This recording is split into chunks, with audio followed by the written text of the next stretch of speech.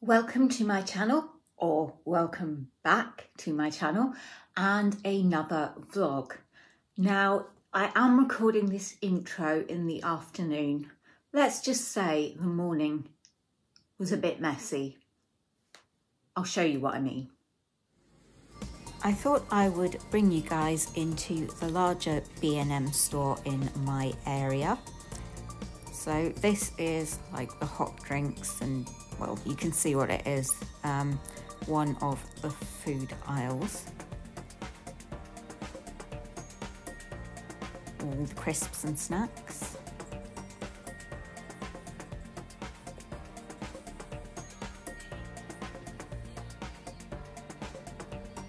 drinks.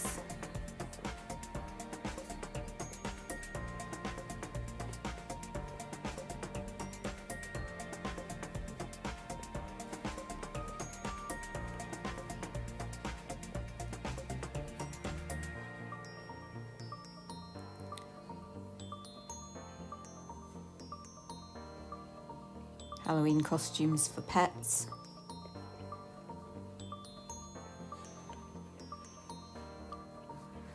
and this store is so big it's got an upstairs so up we go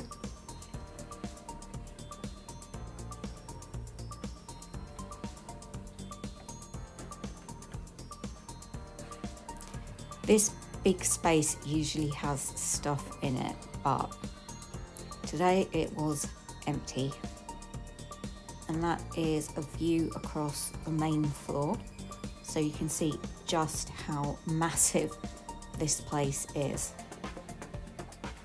And you've got a lot of homewares and stuff here, furniture, things like that.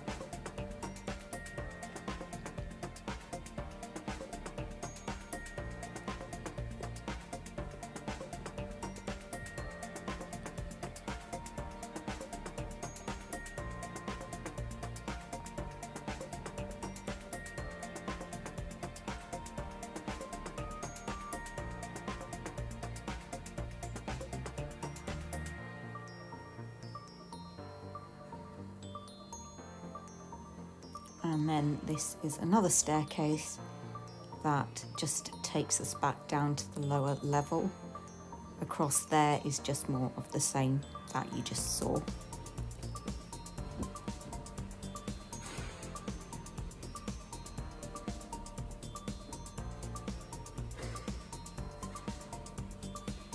So I didn't come in here just to give you a tour.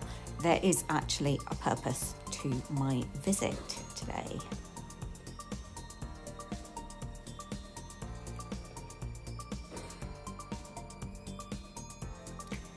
So this is where they have bedding, cushions, soft furnishings.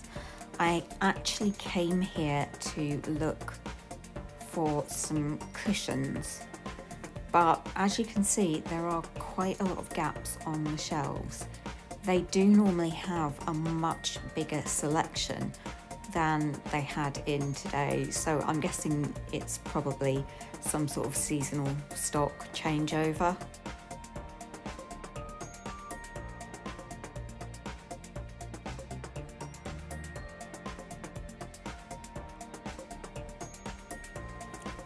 Like this one though with all the different textures, but I didn't buy it.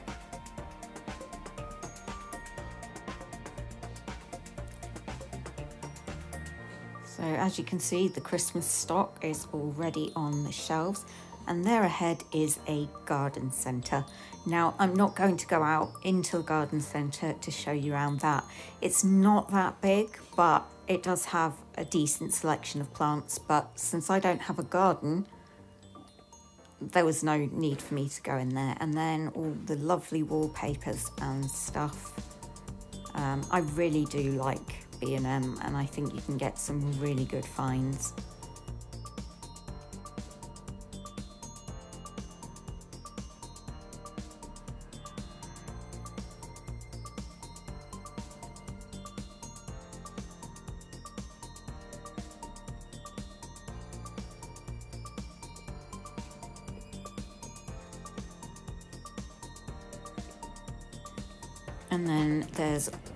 These different types of paints for indoor, outdoor. It's where I got the stuff I will be using shortly. Um, there's a little glimpse of the garden centre. And Halloween stuff. And I'm now just heading towards the checkouts and towards the exit. So when I say I've been to B&M, this is probably where I mean. There is another branch of B&M near me. It's a lot smaller and I probably won't give you a tour of it. I say that, but you know me, I probably will. Thought I'd just have a sneaky peek at what Christmas items they have, but I am not going to buy them. Not yet.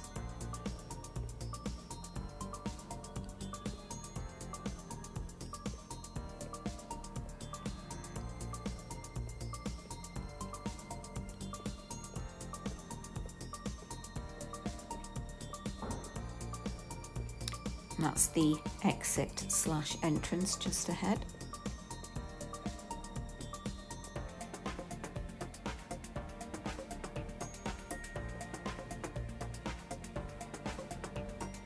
And there we have B&M. This is the towel rail in my bathroom and as you can see the paint is literally flaking off it, so I need to get it sorted. But check out my bathroom ceiling light.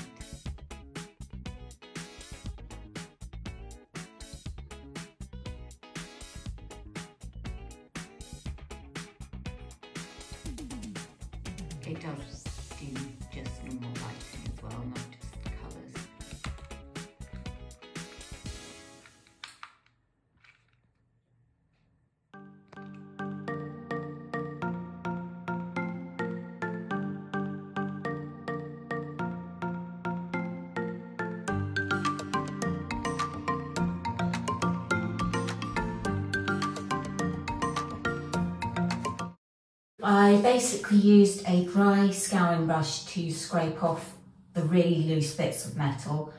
Then I have washed and dried it. Then I have used sandpaper, normal sandpaper, to sand off more of the metal that's flaking off. And I'm now using this special sandpaper.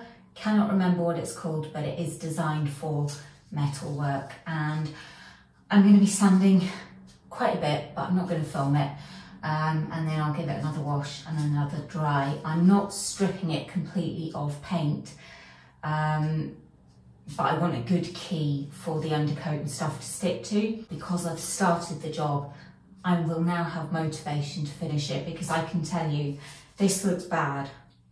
I do not want to be looking at this for months on end. It is far too nice a day to waste it indoors. So that is the DIY done for today. I'm going to take you guys out for a little walk and then I am going to try and finish the crochet blanket I'm currently working on for my niece. I'm so close to completing it so I just kind of want to get it done and then I can start a new project. This is a short walk from where I live and it's kind of like a secret garden. Uh, this is the entrance I tend to use and I thought I'd show it off to you. A kid walked past me at this point so I've had to do a jump cut to edit them out. That's the one problem with coming to a place like this on a day like this. Everybody comes to a place like this on a day like this. So I'm just walking past one of the play areas, which is there on my right. There are several footpaths that you can take to walk around this park. I'm not going to go around the whole place, but I will, at some point, hopefully in the future, show you some of the other routes. It's actually fairly small. You can do a full circuit of it probably in about five minutes.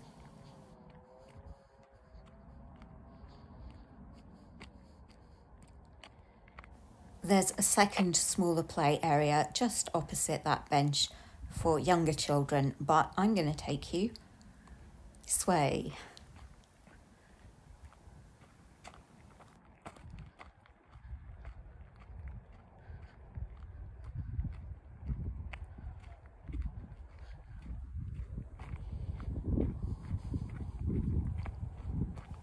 You'll just see there on the left briefly a glimpse of the smaller play park that I was just talking about.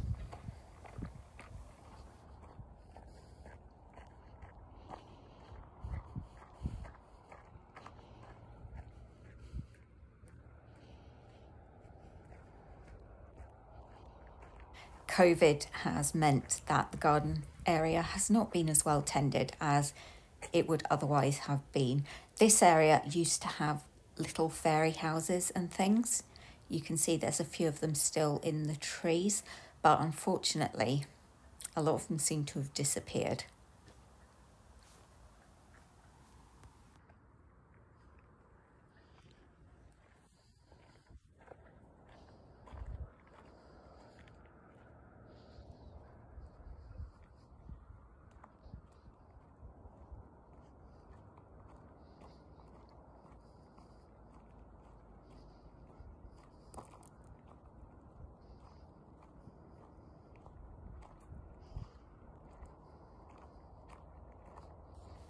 I'm now heading back round towards the steps which I came in via.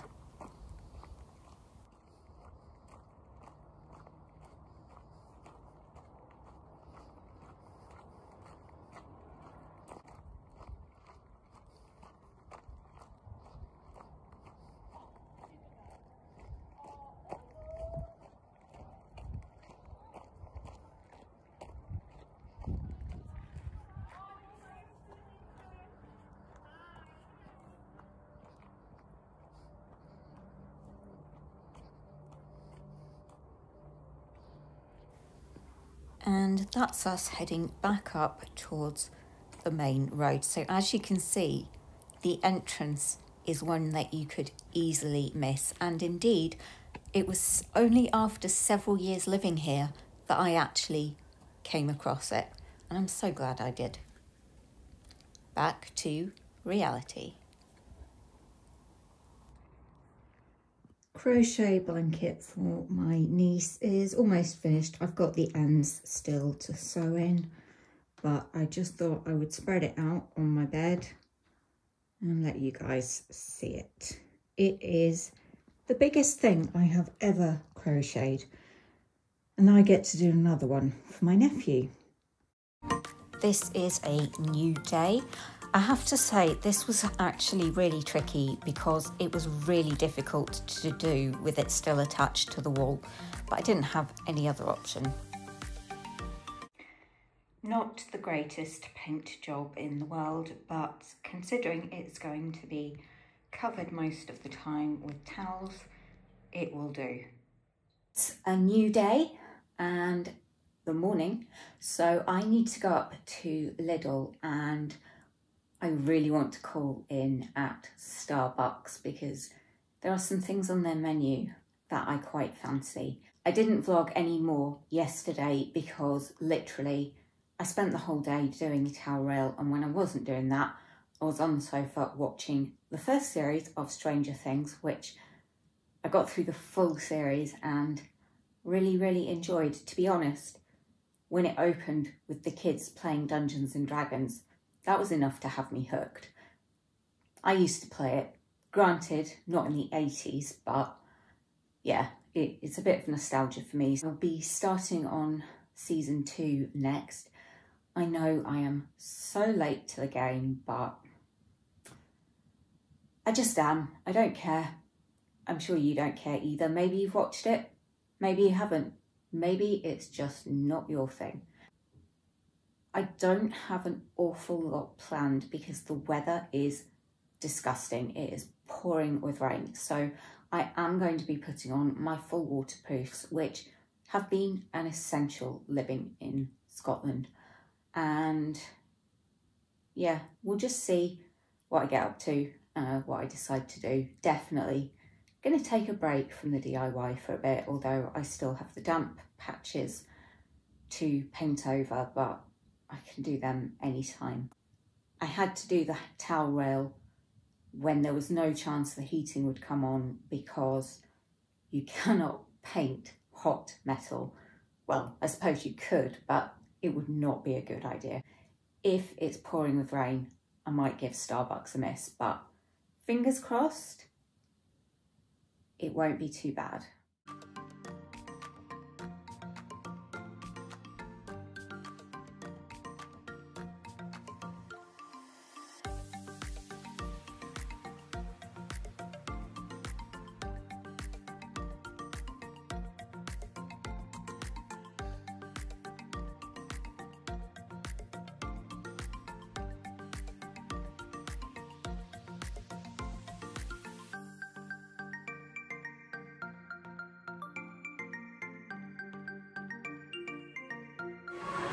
First pumpkin spice latte of the season, so I guess this is me officially accepting it's now autumn. Hopefully somewhere on the screen I will show you or have shown you what I ordered.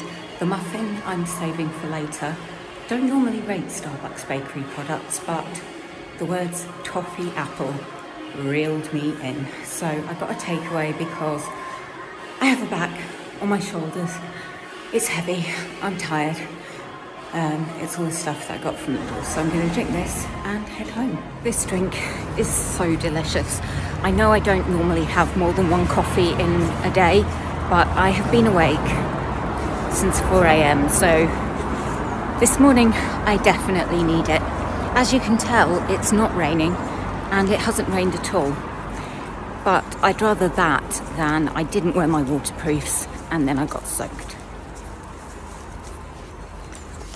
I am back from Lidl. I'm not going to show you everything that I've got because most of it, let's face it, it's boring. However,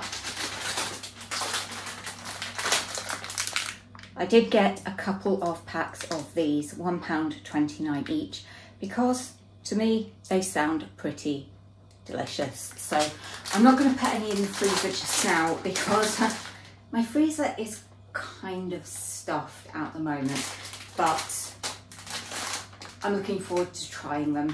Let's face it, who doesn't like sucking on an ice pole? An ice pole. This is like the Susan album party hashtag all over again. Here I am with my Starbucks toffee apple muffin. Well, this is it out of the bag. It did not travel well. Before I get too sticky, I think I'm going to spend the rest of today sitting on the sofa and reading this. I'm maybe about halfway through it because I've been so busy researching for my Halloween series. I've really not had time to read. When I say researching, I'm talking days and days and days, but I'm really enjoying it. So I'm only going to try a bit of this muffin and give you my opinion. I thought it would be filled with toffee and I'm actually gutted that it isn't.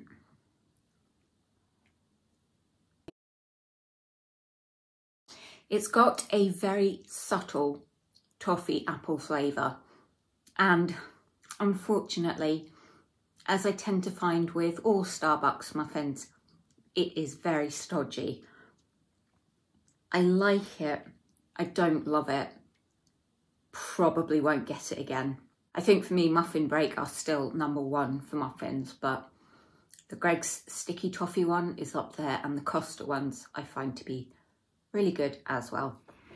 Editing Caz here. I'm going to insert a clip of something I filmed today for TikTok and I thought it would be a shame for YouTube to miss out. So yeah, there's just going to be a little clip and then I'll put the outro after that. Guys, I am so excited to try this golden Toblerone, which a friend very kindly sent me because they're not available in my bit of Scotland. Not yet. Oh my God. I love Toblerone.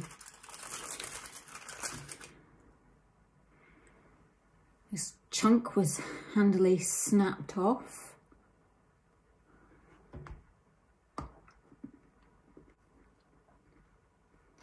Amazing. Tastes exactly like you would expect. It's got the lovely chewy crunchy texture of the almonds. The chocolate is creamy and sweet. I really love this. Mm. So I know this hasn't been the most interesting vlog, but I don't have the most interesting life. I'm just like anybody else. Maybe slightly weirder, but you know. So I hope you will come back for the next video, but until then, take care. Bye.